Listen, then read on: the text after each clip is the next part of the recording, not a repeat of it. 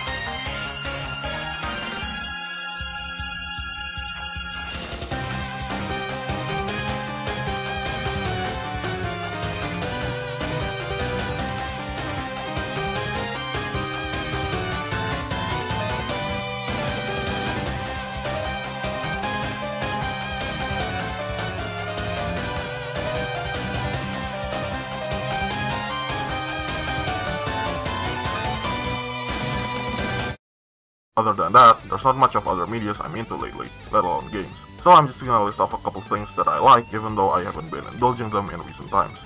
Shovel Knight. It's where I got my username from, which in case you don't know, comes from Spectre Knight, who is a Reaper. And I made this account after my main account, which makes it an alt, and so I got Alter Reaper. Persona. These are games that you quite literally have to dedicate weeks of your life to finish, let alone do a full completion. I have Persona 4 Golden since 2021 on my Steam library, and I have not touched it. It's just been collecting digital dust and I really do want to start playing it. And maybe that will be this year because Persona 3 Reload has been released. So that definitely has made me excited to play the Persona series again. After that, there's Valve games in general. I mean, come on, this is the same company that made Steam. RPG Maker games that are RPG, mostly horror ones such as Ao Oni, Misao, The Witch's House, Black Dream, and especially Ib. As for medias aside from games, the biggest ones would probably be How I Met Your Mother, Community, The IT Crowd, Kill Me Baby, and Yu Yu And that's it, let's move on.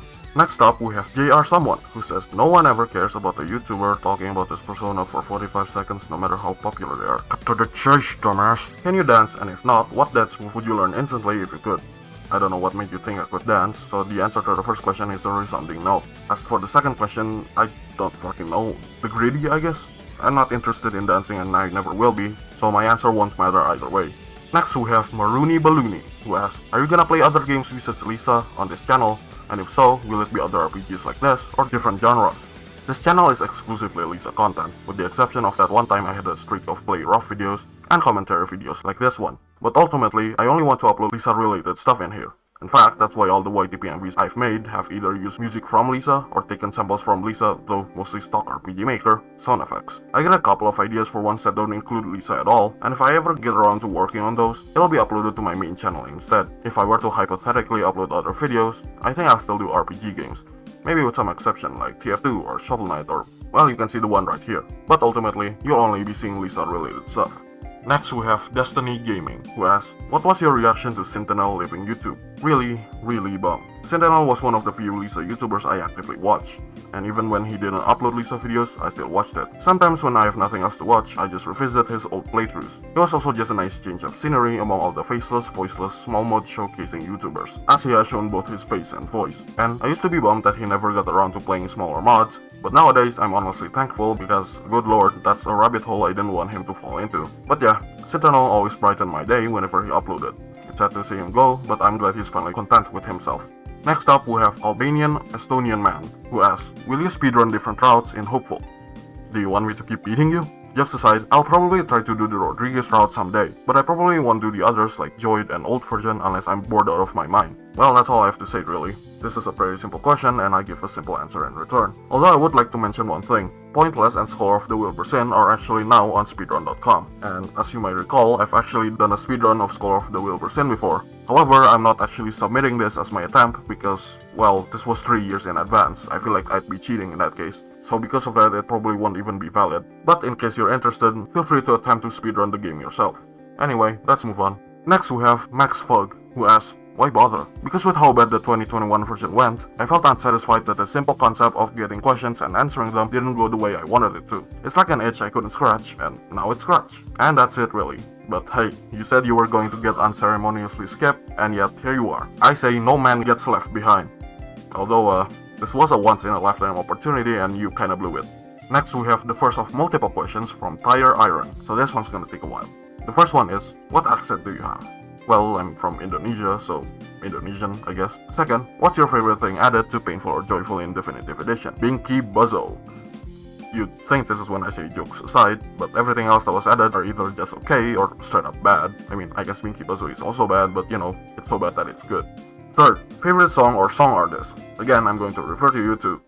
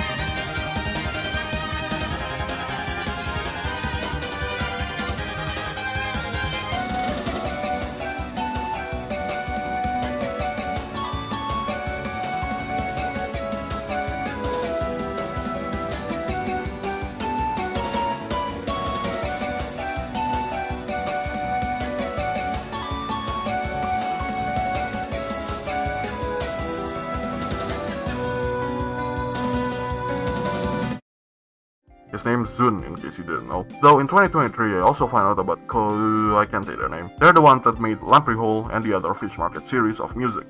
Does that count as promoting? I don't want to disappoint at all. If I had to choose my favorite songs from these people, it'd probably be Lunatic Princess and the aforementioned Lamprey Hole. As for Lisa, it's gonna be Arrow to the Head for me. Fourth, what's a good way into learning how to make proper Lisa game balancing? Have other people play as your game. You, as the creator, know the ins and outs of your game, meaning you'll know exactly what works and what doesn't. And if the thing that works is the only way for you to beat the game, then you'll know that there's some problems there. Other than that, I don't have much else to say. I guess keep things in a smaller scale similar to Pointless and Timeless. Big numbers tend to be a bit more complicated to balance as it's easy to make things deal too much damage or too little damage. Whereas smaller numbers means you can find the middle ground a lot easier. Fifth, thoughts on Ungrateful. It's, uh, it's a thing alright. What is there to say that hasn't been said by other people? Uh, old woman Body Returns, allegedly a self-insert, Metal Gear, Wacky Combat, uh... Wow, I seriously don't have the brain power to articulate my thoughts about this game. Let's, uh, let's move on. Next we have Snackdrag, who asks, Do you like Psychonauts? I haven't played it, but that's the one with the easter egg of a lady burning down an orphanage and being haunted by the ghosts of the children or something, right? That shit used to creep me the hell out. And that's pretty much all I know about this game. Next we have Puppet Wraith, who asks, On a scale of 1 to 10, how much do you regret giving me that Yado sprite? I think what you should have asked is how much I regret making that Yado sprite, as giving it to you was just something to get over and done with, making it an easy one. Making the sprite is also an easy one because I have no regrets. And also, what is your reaction to the announcement that Dripful is getting a definitive edition update? Well, it's good that Drip Heart will be immortalized some way because, uh, here's a little secret. I plan on replacing Drip Heart with something else in Heart's perspective. I just don't want a joke that lasts for a week to end up lasting for years. Plus, he's not even my creation, so I don't feel content with keeping him around. The main dev that worked on the Drip Heart update seemed okay with me replacing him someday, so I'm not worried on that side. But yes, you'll have to say goodbye to Drip Heart eventually. Not now, but someday. Next we have Moshael, who asks, Moss Creepy and Lisa when? Right now. See? Right there. Uh, kind of unfortunate that you take Lisa's place, but hey, at least you're there now. Also, by the time I wrote this part of the script, I had written, also I found your comment in Killer Necropolis, and color me surprised to see you nowhere in Lisa Baby. I guess you're not as much of a Kill Me Baby fan as I am, huh? But, uh, as I've posted before, the creator of Killer Necropolis, Coron3, got copyrighted to death, so that video, and by extension that comment, no longer exists. How unfortunate. Next we have Redead IKA, who asks, Thoughts on the new Half-Life update?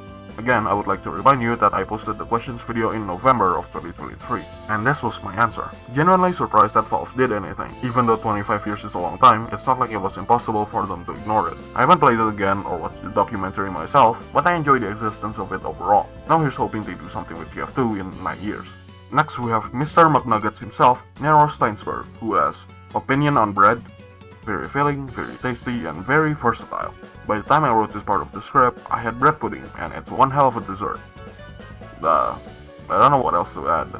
Let's get this bread, gamers. I don't fucking know. Let's move on. Next we have a schizophrenic batter who asks, What fan game slash creation that you made are you most proud of?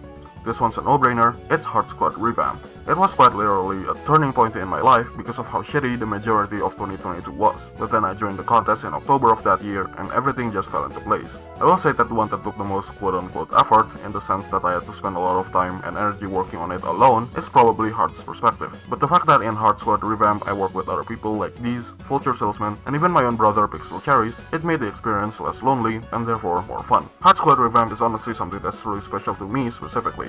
Even if it's not the most unique or popular mod out there, I think my life would be pretty different had I, and everyone else I work with, not brought it to fruition. As a bonus, I'll also rank the mods I made in order from proudest to least proud. Though I would like to clarify that I'm talking about the ones I uploaded on GameJolt, so Bellboy Faces a Shadow doesn't count. Number 1, of course, is Heart Squad Revamp. Number 2 is Heart's Perspective. Number 3 might be surprising to some, but it's Cindy Gau's Overhaul. Number 4 is Heart vs Arnold, the very first one. And dead last at number 5 is Arnold vs Heart. I should probably think of names to differentiate those two games, but it's not like people still care about those anyway. Let's move on. Next we have Solds, who asks, How's life going for ya? Decent? Half decent? It's so bad you might as well call it a Lisa reference? Good? Just curious. Again, I wrote this part in November of 2023. I'll say what my answer was at that time and then add on my new thoughts afterwards. Here it is. It seriously can't get better than this.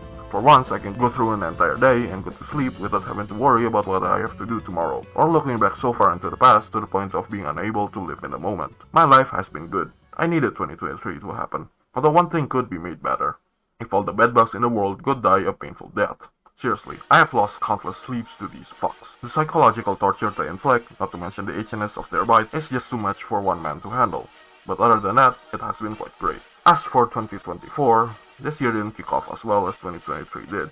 It's no surprise that my channel has had a significant downfall from the past years, and I've had a bit of time to accept this fact. Seeing other YouTubers wanting to quit YouTube has given me the idea that I may do the same thing, but as I've posted before, I want to at least get through this year before doing so. As for things outside of this channel, it's been fine. Nothing too special like last year where I first got deep into Touhou Project took. It could be better, but it could also be worse. I don't want to complain too much. Next we have Mr. Fractured Bronze himself, Funtermore, who asks, what got you into making YTP MVs? Is there some big deep backstory to it, or were you just one day like, this is cool, I should try making one? You have no idea what you just asked, did you? There is indeed a backstory. It is pretty deep, so buckle up. I'd say it was around 2013 through 2015 where I first got into YTP MVs. I'm sure I've seen a couple before then, but I never went out of my way to look for them. Most of them were of popular video game music, like Nintendo, Sega, Capcom, what have you. By the end of 2015 though, Undertale was released, and music from that got turned into YTP MVs too. The most popular source at the time, I think, was JonTron, and uh, is, is he still racist? It's really unfortunate to see someone I enjoyed back then to turn out to not be so good. But yeah, those were the beginning days.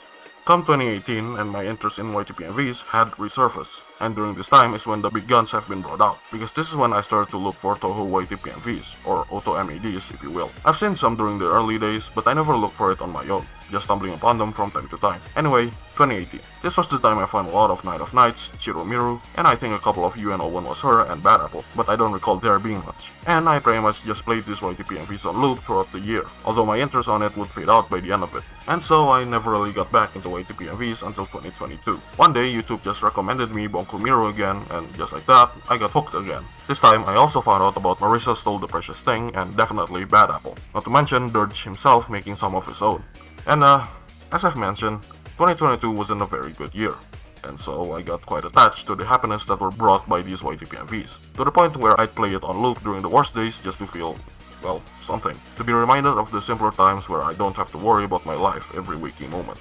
And I think this attachment actually served me well, as my interest in YTPMVs stayed even up to the beginning of 2023 which is the moment you've all been waiting for, as this is where I started making my own. And just so I won't have to repeat what I've said in the channel summary, I got very deep into YTPMVs and found a tutorial for the visuals. With that, and my brother's help in the audio, I was sure I can make my own. And well, the rest is history. Ross Scrotum's origin story, Backwater Crowd, Tough Should We Be Wary, Lisa Baby, Kareem Scolds, Burn Dreams Joy Factory, and of course, Ross Scrotum's full origin story, the end. See, this is what I wanted to come from this Q&A so I can share with you guys about stuff that you probably just took a glance at. You've probably watched some of my Way to MVs before, but now you also know the history of my interest with it. Oh, wait, there's still more. Also, will you ever do a YTP MV that isn't related to Lisa in some way? Yes, absolutely. In fact, when I first wanted to make YTP MVs early in 2023, I wanted to use sources outside of Lisa. However, I was aware that I needed to start small, and the fact that this channel is significantly more popular than my main account. I might start working on one not long after this video is uploaded, who knows. Whew, that one was a doozy, ain't it? Let's move on. Next we have All Lag, who asks, Burger King or McDonald's? People are dying out there and this is what you ask of me. I got a local burger joint that beats both of them. And if I'm not in the mood to buy stuff, I can just fry up some frozen meat and make a sandwich out of that. Which adds to the versatility of bread that I mentioned in Nero's question earlier. Next we have Jacob Edwards who asks, do you like Staying Alive by the Bee Gees? And did you know that the song has the correct amount of BPM to help you correctly perform CPR? Huh, really? I didn't know that. Thanks, Dr. Mike. I haven't listened to it myself, but I'm sure it's good. Next we have some rando who asks, Does the eternally full mug of chocolate milk have an expired date? If so, how do you deal with said eternally full mug of expired milk? Of course not. With a power as ridiculous as an eternally full mug of chocolate milk, you kinda have to make sure that it never expires. Otherwise, you're stuck with a mug of expired milk glued to your hand. Nobody wants that. Next we have Cool Goose 229 who asks, are you cool? Of course I am. He is, he's on after all. Next we have Lego Captain Jack Sparrow, who asks, What is your favorite Pirates of the Caribbean movie? I have not watched any of those movies in ages, but the one I remember most is the one where like there's two wines or something, and when you drink the wrong one, there's suddenly a whirlpool that turns you into a skeleton. That one's not necessarily my favorite because, again, haven't watched them in ages, but that's the one I remember the most vividly. What are those weird bronze things on your PNG faces? It's like a visor or a mask that Knight helmets have. I based it mostly on Spectre Knight's face, so that's why it looks like this. Also, I don't know what world you live in where yellow is bronze, although I suppose I shaded it a bit too heavily. And, if you were dropped in the middle of the Amazon rainforest, how long do you think you would last? not very long. I never like camping trips where you go out to the wilderness, and even then, those still have other people. But alone, I'd probably just lie down and give myself up to whatever animal comes across me. I already have a pretty good life anyway, this won't be the worst ending. Next we have Garfield Fan 2009, who asks, Is Exo Zombies a good game? This is the first time I've heard of it, which of course means I haven't played it, which obviously means I don't know whether it's good or not. It's got a cool name though. Next we have Softech Customer, who asks, Opinion on other RPG Maker games besides Lisa? Actually, I haven't played that many RPG Maker games. I've seen stuff like Omori, Hylics, Yume Nikki, One Shot, etc, etc, and I think they're all fine. I also mentioned RPG Maker horror games earlier, and emphasized my recommendation on Ib because that one is my personal favorite. It is easily one of my top 5 games, believe it or not. Of course, there are also other ones like Play or Five Nights at Fuckboys. The former I enjoy quite well. The latter, um, I guess it takes me back, to say the least. Next we have another dear friend, DB Malachite, who asks, when are we gonna get the Master Bates mod? 50 years. Even then, that's not guaranteed.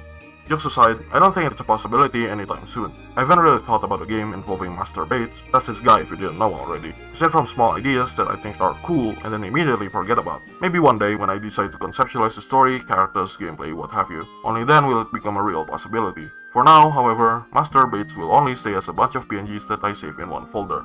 Next we have one from my very own little brother, Disco Bomber, who asks, Do you have an epic, cool, awesome little brother? Nope.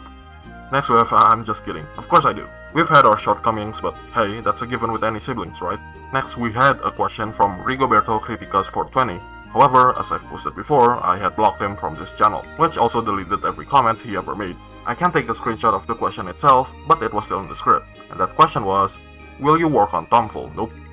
Next we have Not an Alien, who asks, What advice do you have to people who are getting into RPG Maker? Always try to do new things. Let's say, for example, you make a party member that can inflict a variety of status effects, like Worry, Stun, and Piss.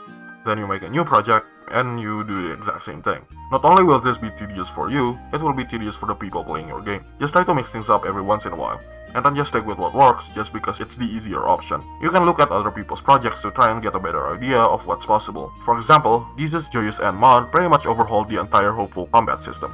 It still feels the same, yet it's very different. If you're to dig through every aspect of that mod, maybe you'll realize just how much potential your games can have. Getting help from other people is always a good thing too. These are people that had to learn things the hard way, so if they tell you outright on what you need to do, you're able to gain knowledge on something that may have taken longer for most people. In summary, do new things, get help from other people. Let's move on. Next we have Swagmaster, who asks, Do you have a favorite Valve game? I mentioned TF2 earlier, didn't I? That's my answer. Maybe a bit basic, but it's the one I always come back to. I remember first playing it back in 2016, which was coincidentally the worst time for TF2, considering that's when Meet Your Match and Overwatch happened. But I had a ton of fun either way. And then I don't recall playing it much in 2017, besides trying out the Jungle Inferno stuff when it was still new. Then I remember coming back to it in 2018, and then I didn't play it again in 2019. I vaguely remember playing a bit on 2020 and 2021, but this was during the time where the bots were at their worst, so I didn't play for long. And then I got back into it in 2022, and I'm still playing it to this day. So yeah, TF2 has been with me for almost 8 years now. Oh my god, how has it been that long? Let's just move on. Next we have Jacket Bottom Text, who asks, Your current view on Lisa fan content? There is a lot. Frankly, a bit too much. It's really, really oversaturated, and I think that's a big reason as to why I find it really hard to make my own mods without something like a contest to push me to do it. Because like, what can I offer that hasn't already been done? Ultimately, the content that stands out the most are original ones, full-fledged fan games with an original story and original characters, but those come so few and far between nowadays. At the same time, I don't condemn mods that are lower in quality to say the least. As I've mentioned before, everyone has to start somewhere, even big wigs like Callan, so I'm not super cynical to the point of trashing every single mod that gets released. At the same time, you should recognize that there should be a level of quality to your mods, so always put effort into your creations, even if it's something as basic as making your own sprites and skill animations. In summary, it's oversaturated, but I don't condemn anyone that's just starting out. Next we have Double T, who asks, Best color of the Wilbursin mod? Only one option is right. Ah, that is true. It's Drunkard's Paradise, obviously. Next we have Mighty Morphin 2, who asks, Are you... Huh? Next we have Alonso Estai Silva, who asks, Can you do a fucking flip? I don't know. Let's see. Again, just a stock sound effect. The answer's no. Next we have Silver Fairs, who asked to get a Discord link to the revamp contest. I already answered this in the replies, but I kept my word of featuring you in the video. Let's move on. Oh, well, hello there. If you're wondering as to why I sound like this now, it's because my usual microphone broke. It just doesn't work whenever I plug it in. So I'm making do with a headset for now. Anyway, as you can see, my background footage is finished, which was something unexpected. I was initially going to put the extra stage of USD here, but I still haven't beat it. So here's Mountain of Faith instead. This footage is 22 minutes long, and I really do not want to waste it by cutting it short as we only have a couple of questions left. So right after we're done with that and I do my outro, I'll actually leave the rest of the raw gameplay footage for those of you interested in watching. Speaking of my outro, it will also sound like this during that, as even though I already recorded it with my mic before, there are more things I want to say now. So rather than having an inconsistent audio quality, I'll just re-record the entire thing. With all of that being said, here's the rest of the questions. Next we have Marak Rof Itkak. I hope I got that right. It looks like cacti for Karam when reversed. Anyway, they ask, who's your favorite video game protagonist and why? I'm gonna sound like a broken record here and mention Spectre Knight from Shovel Knight. I have a personal attachment to Spectre of Torment DLC, to the point of naming my username after him, as I mentioned earlier. He may seem like an edgy character on the surface, but he's genuinely cool and tragic, which adds to my affinity for him. Even though I haven't played or even indulged in any type of content related to Shovel Knight recently, Spectre of Torment is still my favorite video game of all time, and I think Spectre Knight is the reason for it. Next we have Angry Coffee Kid, who asks multiple questions. The first one is, you drew your profile picture, so are you gonna make more public art? And if so, where could we find it? I would post more art publicly if I make more art in general. And when I say that, I mean drawings that I feel are complete rather than me doodling out of boredom, which I've done very frequently these past two years. As you can see from a couple of my community posts, I've made the Hopeful cast being fused with Imperishable Night and Embodiment of the Scarlet Devil cast, and my own original lovelies. They all have shading and, well, some form of background, whereas other drawings I've made and shared with other people in, say, Discord servers, I tend not to post publicly. Speaking of which, I'll probably only share them in my community posts and Game Jolt, since those are where I'm most known and active. Sometimes I post on my Twitter, but that's mostly just a formality. If you happen to be in the same Discord server as I am, well, you'll most likely see my stuff there as well. The second one is, also, now that you have an avatar, are you gonna become a reactionary commentary channel, LMAO? No, because the fact that I'm holding a mug makes it impossible for me to cross my arms, meaning I can never truly be a commentary channel. Jokes aside, the answer is still no. I mostly made my persona for fun, and if I happen to have a commentary video in mind, I would end up using him, just like in this video. Next we have Schwinkle, who asks two questions. The first one is, have you ever thought of making slash working on Lisa fan games? Yes. If you mean working as in being part of a team of someone else's fan game, then I'm actually doing that right now, for multiple fan games actually. What's my role in those? No idea. I don't know what direction to go in. If any of the devs of a game that I'm a part of is watching this right now, please tell me what to do. I don't have your vision, so it's just not in my nature to work on something that I don't have a clear idea on. As for making my own, that I also have thought of. In fact, I had an idea way back when I was 14, which I scrapped not long after because it was made when I was 14. I have some ideas regarding an actual fan game that I might want to become real someday, as I mentioned in DB Malakite's question earlier, but they're still just ideas. I don't have the plot or concepts thought of at all. Once I have the time to actually do that, I'm sure I'll get started on working on it. The second one is, what do you think of Yume Nikki and Off? Haven't played either game, but I know they're one of, if not the most well-known RPG Maker games out there, even compared to Omori, One Shot, and Hylics. They're still the dynamic duo of RPG Maker. They both seem cool and I can see myself spending my time playing them, but unfortunately I have other things to do, like answering these questions and making a video out of it. Next we have Sunny, who asks, What's your current favorite game and why? Standalone game, I don't really have any. A game series, well, I'm gonna sound like a broken record here and say Touhou Project took. Thank you, Toby. As for the why, I explained most of it in the YTPMV question Funtermore asked earlier, but essentially, Touhou has been a part of my internet life for a long time but I never really got into it until recently, and when I did, I was well and truly hooked. And now, I don't think it'll ever leave my side, and I don't want it to ever leave my side. That's how special it is to me, despite me being a fan of other things for longer. Just by looking back at the stuff I made in 2023, you can see how much Touhou had influenced me. I just really, really love it. But I think you know enough of this by now, judging by these two drawings I made. And how dare you, coffee rules. Sincerely, a caffeine addict. Oh no, yeah, I agree. I got a fuck ton of coffee in my house right now. It's just that When it comes to an artist persona, coffee is the lamest thing you could give them. The next thing would be baggy eyes, a hoodie, and hell, let's throw in a beanie too. Did, did I just describe Jesse Pinkman? Whatever, let's move on. Next we have the Clown Man guy, who also has multiple questions. The first one is, what made you a Lisa fan? On December of 2020, I was recommended a video by Yurik Saladbar about Yak.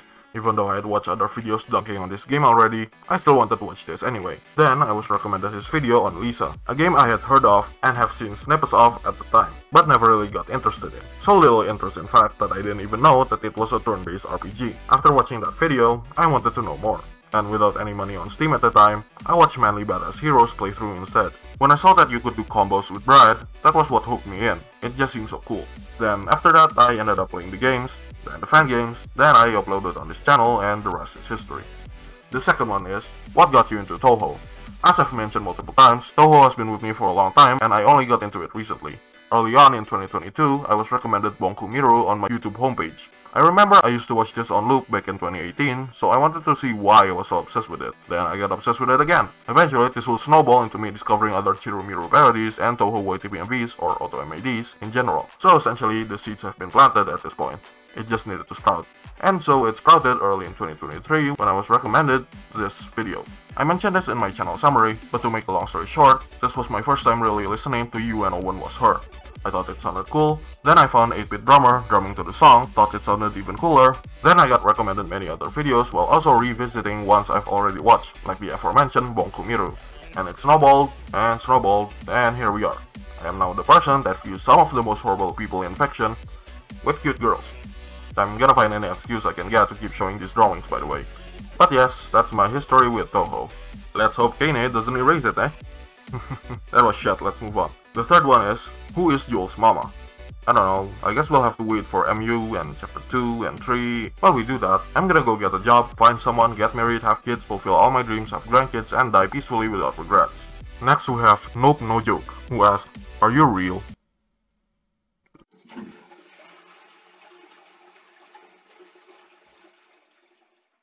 Sorry, I was in the bathroom. Of course I'm real. You can see me right now. Well, my persona, but you get the point.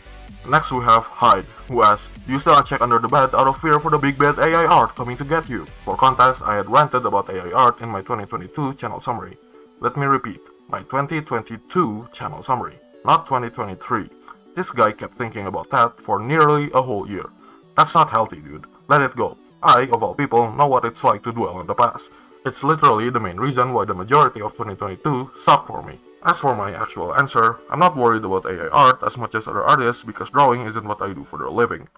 Yeah, so I should note that the script was written before the whole Sora AI generated videos thing happened. I don't like that at all. That has zero benefits whatsoever because it's not necessarily just drawings. You can just spread misinformation and clueless people would believe it as real. But uh, yeah, I don't like that. Um, let's get back to my answer now. That doesn't undermine the fact that it's still a concern for the majority of artists out there. The fact that money that could go to supporting people who draws as their job ends up going to a machine that feeds off of said people is not something you should overlook.